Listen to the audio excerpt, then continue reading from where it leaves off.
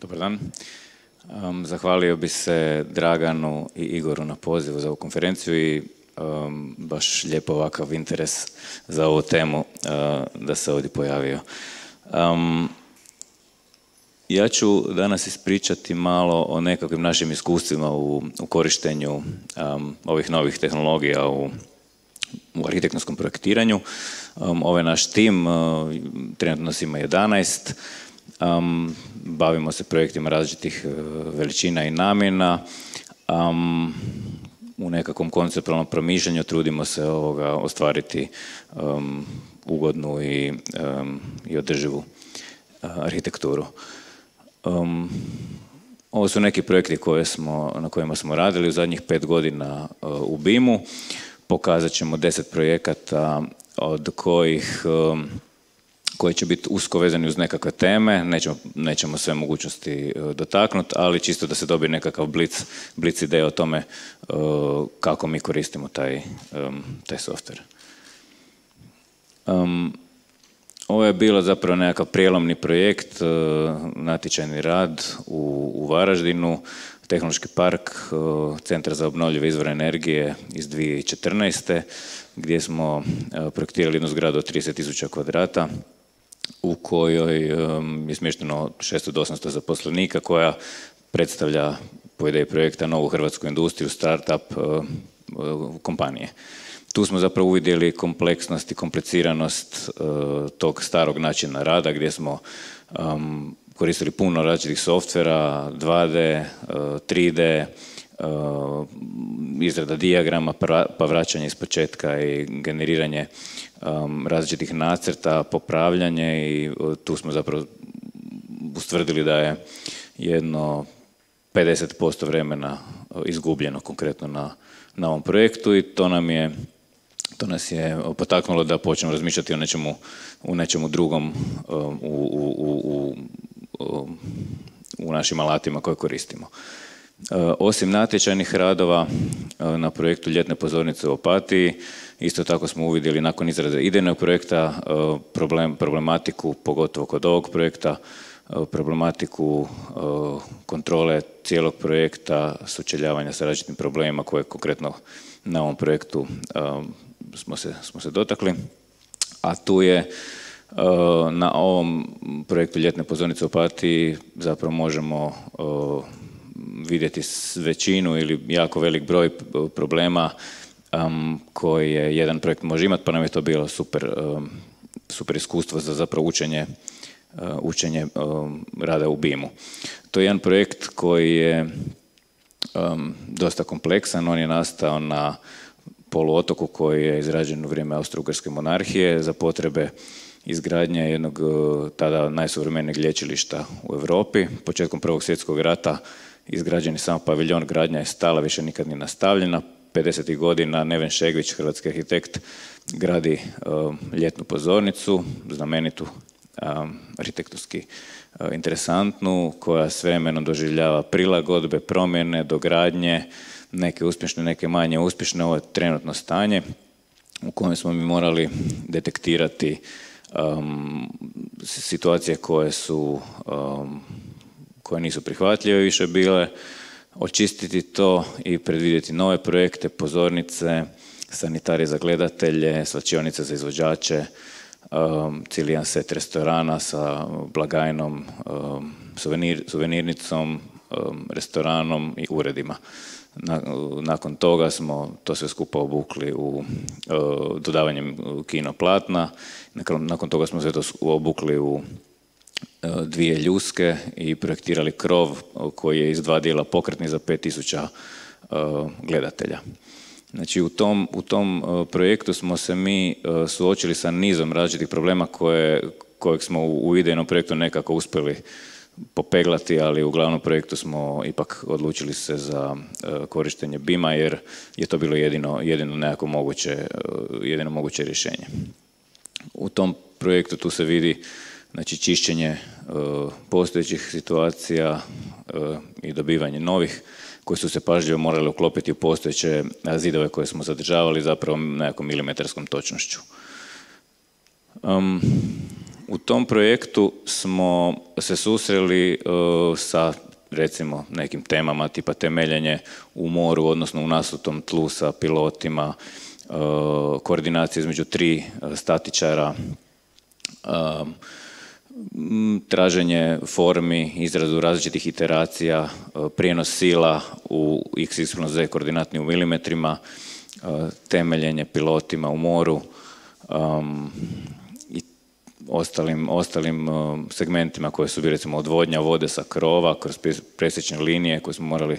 konstruirati, je velika količina, velika količina vode koje smo, za koju smo morali dimenzionirati, recimo žljebove, um, a kroz nekakav klasičan sustav tu, to nije bilo jednostavno, jednostavno moguće. Um, taj projekt nas je stvarno uh, naučio kako ćemo se, kako ćemo se početi uh, suočavati sa nekakvim stvarima koje, koje nekakva suvremena arhitektura nosi. Um, recimo jedan od, jedna od tema koja je isto interesantna je upravljanje podacima. BIM je zapravo set podataka koji, koje moraš na neki način, s kojima moraš uh, baratati, manipulirati. Konkretno kod ovog projekta to je um, jedna stamena zgrada od 150 stanova sa pripadajućim parkinzima. Ideja je bila da uh, dobijemo uh, dva odvojena volumena um, i dodavanjem volumena boravaka uspijemo ostvariti pogled prema rijeci uh, za većinu stanova. Program je bio jako detaljno zadan, točna um, struktura stanova po postotku dvosobnih, trosobnih, četirisobnih i petrosobnih stanova, jako malo odstupanja i u kvadraturi i u samom strukturi stanova. Na to smo mi još dodali sebi um, jako puno nekih drugih stvari koje smo htjeli ostvariti i zapravo ovdje kroz ovaj software smo mi mogli um, provjeravati kvadrature stanova, ukupne kvadrature, sobnost stanova i kompletnu uh, slaganje tih modula s kojima, smo, s kojima smo se bavili. Ti podaci u BIM-u nisu samo uh, tipa površina, nego tu je i, i volumen i razno razni podaci koji su, koji su ovoga, uh, u tom trenutku i u pojedinoj fazi projekta interesantni. Um, kod projekta uh, natkrivanja polivalentnog igrališta u, u Sisku smo um, trebali natkriti dio tribina i, i sami hokejaški, odnosno klizalište. Um, prijedlog je bio da koristimo jednu ljusku koja je uh, generirana iz elipsoida, znači mi smo nje radili poluelipsoid koji je sječen um, kosim ravninama kako bi se dobilo ostvarenje um, natkrivanja, traženo, traženo natkrivanja gledališta. Um, sa tom formom smo, smo baratali, uh, kako je Gordana pokazala, parametarskim uh, modelom. Programirali smo jedan model gdje smo perforirali gore kružne otvore za zenitalno svjetlo koje su okomito postavljeni uh, na, na samu plohu u pojedinoj poziciji. Paralelno sa um, tim um, istraživanjem forme smo istraživali statičku uh, efikasnost te konstrukcije, pošto je ona ljuska sa dvostrukom zakrivljenosti i ona je kao takva jako efikasna i mogle biti jako tanke debljine, ali opet uh, smo morali paziti na, na pojedine slučajeve gdje to ne smijemo uh, preći, a da opet zadržimo nekakvu pitomu formu koja ne izlazi iz nekih ne znam, estetskih kriterija naših u tom trenutku. Um, to koristimo za software, koristimo za sve projekte na kojima radimo uh, u većoj ili manjoj mjeri, ciljano uh, ili segmentno ili, uh, ili većim dijelom. Ne koristimo sve. Kod ovog projekta ovo su obiteljske kuće, kuće za odmor na Korčuli koje su u potpunosti bile, bile u potpunosti želje uklopiti ih u teren. Cijeli teren je projektiran kao kuća sa vanjskim prostorima koje su sobe, um, vanjske sobe i tu je zapravo zahtijevala baratanje um, terenom um, kroz, kroz 3D modeliranje detaljno onako da bi, da bi to uspjeli ostvariti um, što smo htjeli. Um, ovo su recimo presjeci koji su generirani u fazi izvedbenog projekta i u fazi izvođenja. svi ostali prijašnji presjeci su se brisali i na taj način je bilo jedino moguće izvođačima rastumačiti šta u kojem trenutku kako gdje izgleda i iz tih presjeka smo generirali same izvedbene presjeke koje smo detaljno raspisali povlačeći opet podatke o samim slojevima zidova, iz, iz naše baze podataka BIM modela. Kako se rekao, taj softver koristimo i za male projekte, vrlo male projekte. Ovaj tu je projekt konkretno bio 20 kvadrata plus nekakvih 20 dodanih kasnije, ali ovih 20 kvadrata je sve izmodelirano, sve što, apsolutno sve što se u njemu nalazi, od opreme do rasvjete, konstrukcije, viseće instalacija i ovoga, na taj način jedino smo mogli kontrolirati apsolutno svaki detalj i u izvedbi pratiti da to bude onako kako, kako treba, sve poklopljeno jedno s drugim. Mm, zadnjih jednu godinu i pol se bavimo projektiranjem i izradom radioničke dokumentacije za montažne kuće u, na jednom otoku u Švedskoj um, oko prilike 55 kuća i jedna stambena zgrada, postoje tri tipa kuća i uh, izvođač je od nas uh, tražio da mu um, pokušamo optimizirati njegove procese izvedbe tih kuća. Um, on je izveo jedno tri kuće po nekakvom starom sistemu i tu su se ustvrdile pogreške, recimo dijagonali je bilo po 5-6 cm uh, greške, zato nije bila dobra priprema projekta. Mi smo taj projekt, mi smo te kuće e, modelirali u potpunosti e, svaki segment e, u BIM-u, izvršavali pripremu konstrukcije sa već unaprijed pripremljenim prodorima, rješavali kolizije, detalje recimo čeličnih konstrukcija smo crtali i modelirali uh, također da bi zapravo cijeli taj proces kontrolirali i isto tako uh, detalje rješavali u prostoru pošto su to mislim, prostorni problemi i na ovaj način smo uspjeli riješiti toplinske mostove i, i sve što treba uh, kroz 3D, kroz 3D modela. Um, nakon toga morali smo izbacivati um, količine, uh, broj pojedinih greda i stupova, um, automatski su se one morale zaokruživati na prvu, na prvu veću mjeru i tu, tu je zapravo jako puno e, bilo napravljeno uštede u, samim, e, e, u samoj izvedbi i tolerancija, odnosno greška je bila možda svega 2 mm u kućama koje su se projektirale na ovaj način.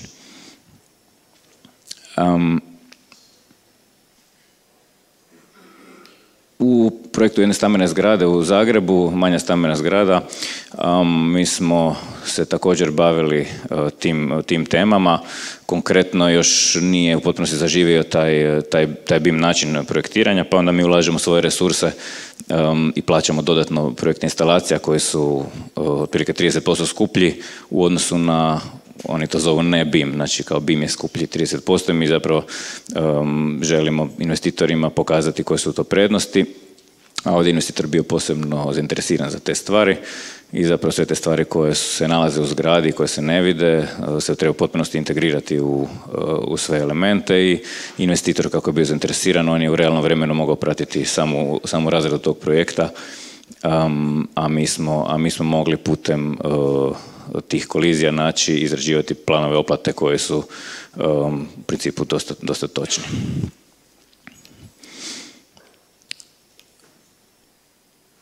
Uh, ovo je jedan projekt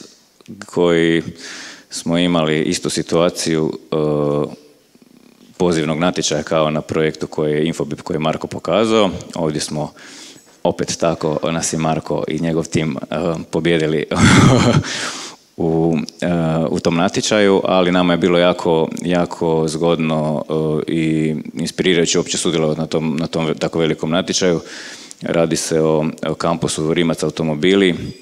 otprilike 110 tisuća kvadrata uh, natječajnog programa koji je hibridni i ultra, ultra kompleksan.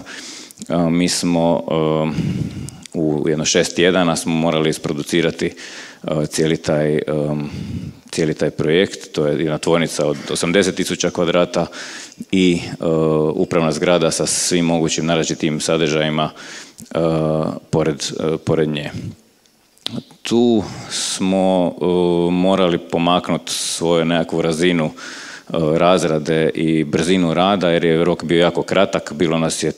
troje do četvero ljudi u tih šest, jedan, otprilike 800 sati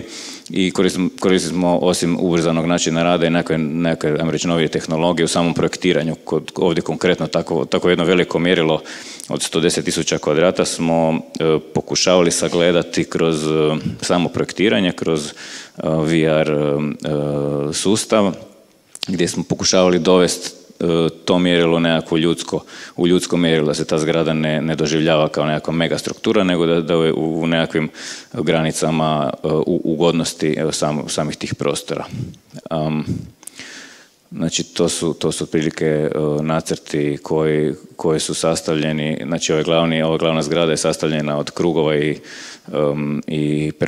perforacija elipsama za atrije, ova je tvornica. Um, i ovaj, i ovaj presjek. Znači sama um, struktura uh, ima, imate uh, elipse i da bi, da, bi, da bi na neki način što prije um, generirali taj model smo morali projektirati prvo bazni model na koji smo onda aplicirali sve ostale bi modele, na kružnice, sve ostale ravninske modele. Um, Parametarsko modeliranje, Gordana imala sjajan uvod za taj dio, e, mi ćemo ovdje pokazati to na primjeru hotela Marko Polo u Korčuli. Um, to je jedan hotel od 330 soba koje su se morali smjestiti na jedan zahtjevan teren. Um, mi smo uh, u tom uh, projektu koristili dosta tih uh, parametarskih funkcija. Želja je bila takvu jednu golemu strukturu integrirati u teren e, što bolje koji je zakrivljen u više, u više smjerova u nagibu, ali i u e, okolni krajolik koji je e, isto tako interesantan. konkretno recimo u ovom primjeru, pošto su naši budžeti recimo za projekte nisu tako veliki, nismo mogli investirati u Point Cloud, onda smo na neki način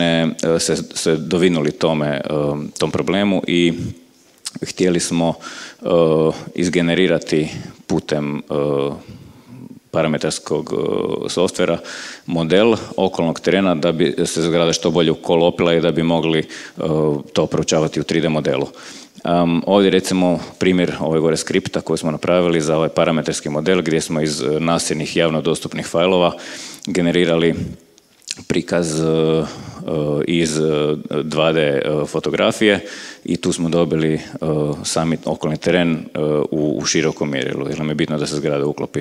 u krajolik. Konkretno recimo to je, to je hotel. Mi smo izmodelirali zapravo cijeli i poluotok i, i otok Korčulu i to smo vrtili i gledali kako bi, kako bi ta zgrada što bolje izgledala. Osim toga, u e, modulima smo, e, projektirali smo kroz module soba, ovdje imamo presječne linije e, s kojima smo generirali same linije do kojih naši, naše jedinice mogu ići. To su promjenjive linije, ova gore linija iznad koje jedinice ne mogu ići, to je neka oduzimajuća linija. I ovdje je superponirana jedna podloga koja nam je grid točaka koju onda možemo rotirati u smjeru pogleda prema Korčuli, prema starom gradu i onda baratati s tom formom na razne načine kako bi dobili nekakvu željenu strukturu koja nam je, koja nam je u nekakvom završnoj fazi bila,